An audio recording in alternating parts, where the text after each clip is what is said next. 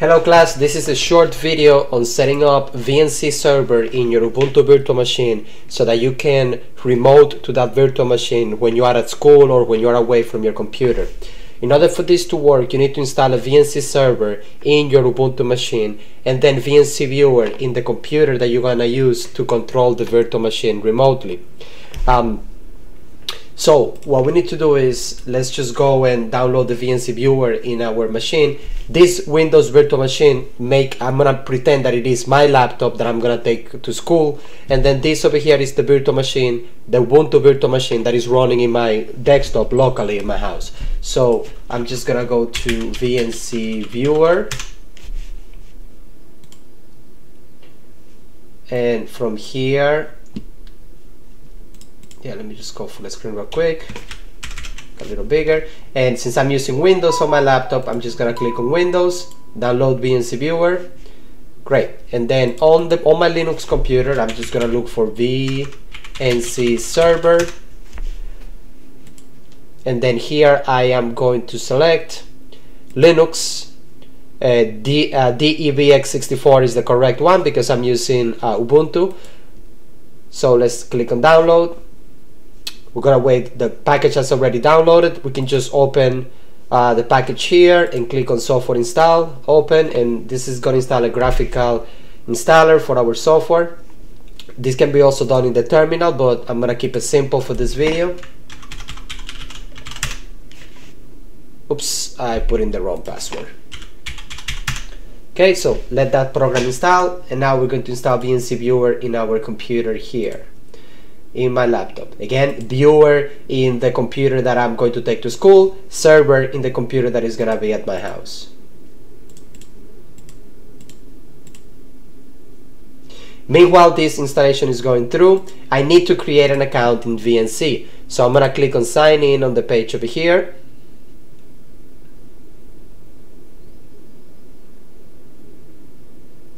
And I'm going to click on, wait, sign up right over here.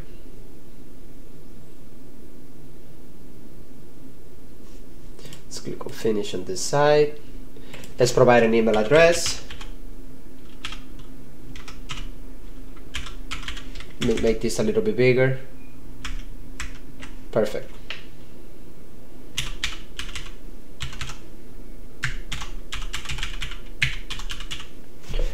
And now let's choose a password.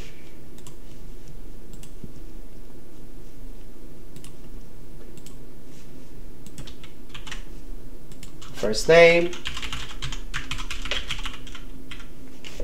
And I'm using this for personal use.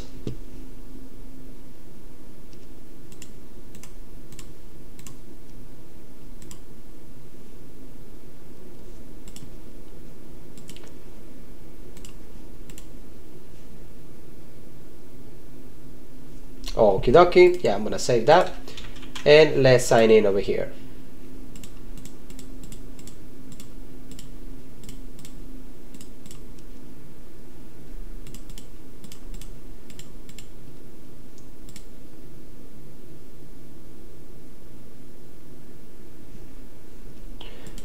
What do you mean that's not the correct password?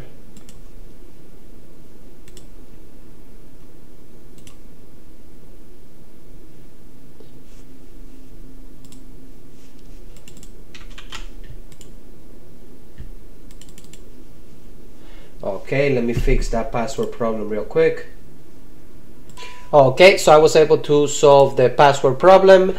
So now that I have successfully created a password, um, I suggest that you enable two-factor authentication uh, in this for extra security. So what I'm gonna do now is, let me minimize this, I'm gonna close this, and I'm gonna open VNC server. See, VNC server right over here. Let's provide our password. And now we're gonna sign in.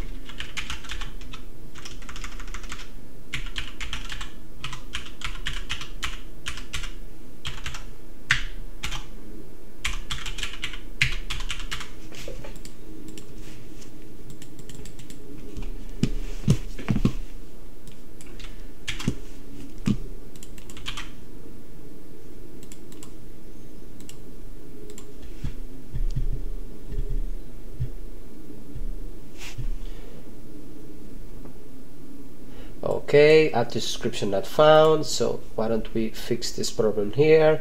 And we're gonna do light activate. Beautiful. So now that we have an active subscription let's go back and click sign in one more time. Perfect. So authentication. So we're gonna do the password that we have for VNC that's fine so now let's create a password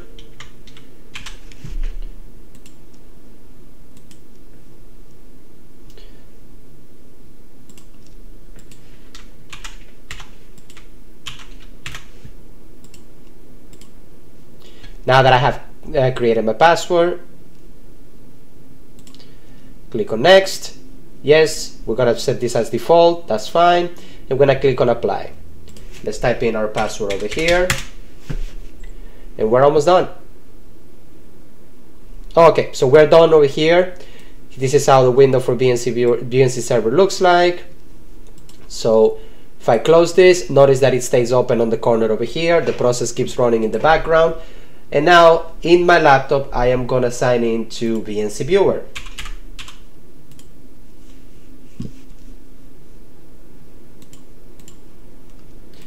The same process.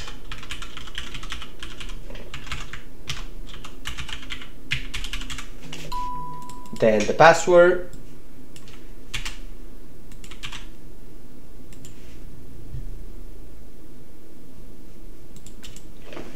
Oops. I type my email wrong, correct. Now it's gonna ask you, hey, we send a message to your email account. Please make sure that you know that you go over here. Yes, it's me. Continue signing in and authorize the sign in. Perfect. And now notice that here I have a computer assigned. So if I go to admins team and I click on CIS 106